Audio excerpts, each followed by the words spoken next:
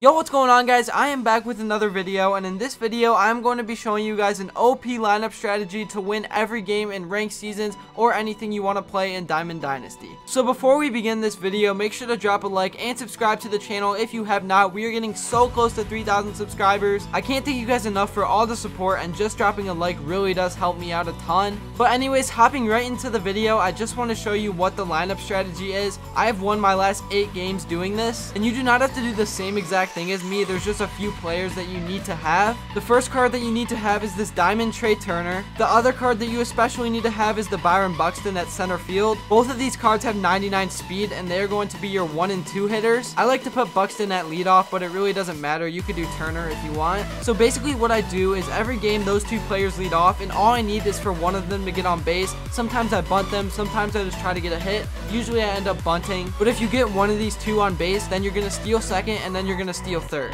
Now you do have to be careful when you're stealing because if they do a pitch out and they know it's coming, they're going to throw you out. But if you're super smart about it, then you can easily pull it off. So now you have a guy in scoring position with only one out, maybe even zero if both your guys get on. And then what you want to do is you're going to want to put your best hitter at the three spot. My best hitter is Babe Ruth. I hit really well with him and all you have to do is hit a ground ball or a deep fly ball and you will score the run. But this is what I do every time and I pretty much get a free run to start out every single game. And then every time the lineup turns over, you just do the same thing over and over again. And if you can hit really well with your good hitters, you can score even more runs. But with this lineup right here, I have won my last eight ranked seasons games. But now that you've seen the lineup, I'm going to show you highlights of me playing ranked seasons to prove to you that it works.